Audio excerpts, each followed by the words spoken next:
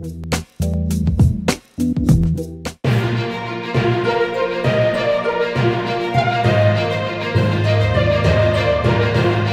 ఉద్యోగులు గుర్తుపెట్టుకోండి అంటూ మాజీ మంత్రి దేవినేని ఉమామహేశ్వరరావు ఆగ్రహంతో ఊగిపోయారు.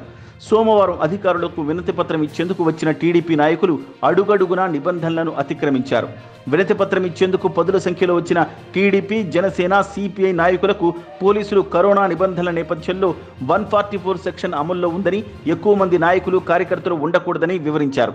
ఈ సమయంలో మాజీ మంత్రి కొల్లు రవీంద్ర చిలకలపూడి సిఐ అంకబాబుకు మధ్య కొద్దిసేపు వాగ్వాదం జరిగింది.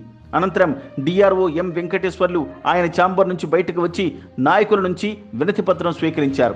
కలెక్టరేట్ ప్రాంగణంలోనే మీడియాతో మాట్లాడేందుకు ప్రయత్నించారు.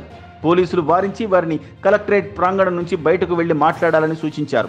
బయటకు వచ్చిన దేవినేని ఉమా మీడియాతో మాట్లాడుతూ మమ్మల్ని మాట్లాడనీయరా? బయటకు పంపేస్తారా? ఉద్యోగులు గుర్తుపెట్టుకోండి. మిమ్మల్ని ఎవరూ కాపాడలేరు. అప్రకటిత ఎమర్జెన్సీలా ప్రవర్తిస్తున్నారు అంటూ ఆగ్రహంతో ఊగిపోతూ ఉద్యోగులపై ధ్వజమెత్తారు. రెండో దశ కరోనా. భయంతో చచ్చిపోయారు. భయం. భయంతో రాధాయపడ్డారు కోటేశ్వరం లక్షాధికారి సామాన్యుడు రిక్షావాడి దాకా. ఒక బెడ్ ఇప్పించు ఒక ఆక్సిజన్ బెడ్ ఇప్పించు ఒక oxygen cylinder ఇప్పించు.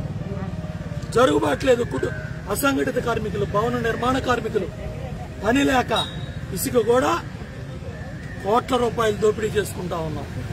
Cheap liquor liquor ఇష్టారాజ్యంగా అన్ని బ్రాండ్లు భూమి భూములు జూమ్ జూములు తీసుకొచ్చావు.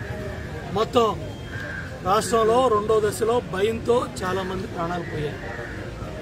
వాళ్ళు చూడండి ఎప్పుడో బ్రిటిష్ ఆడేసిన వేసిన చెట్లు ఉన్నాయి లోపల. ఈ దిక్కుమాలిన ప్రభుత్వం ఈ చేతగాని తత్తమ్మ ప్రభుత్వం పోలీసులు పంపించారయ్యా.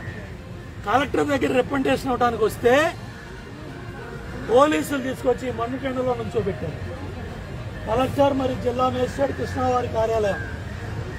జగన్ రెడ్డి మంత్రులు చెప్తున్నా భూమి గుండ్రంగా ఉంటుంది. రెండేళ్ళు మీ హానిమూన్ అయిపోయింది. ఇంకా ఏదో భ్రమంలో ఉన్నారు. పోలీసులు తీసుకొచ్చి మమ్మల్ని ఎండలో నుంచోబెట్టాం. ఈ చెమటకి తప్పకుండా ఈ ప్రభుత్వం మూల్యం చెల్లించుకుంటుంది.